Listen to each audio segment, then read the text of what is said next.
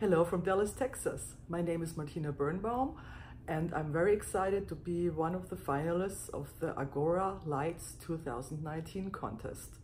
The picture with the scenic view on the Californian beach was taken on the way back home from the beach to the hotel when suddenly the light was getting so beautiful and soft so I needed to stop to take this picture with my Canon EOS 5D.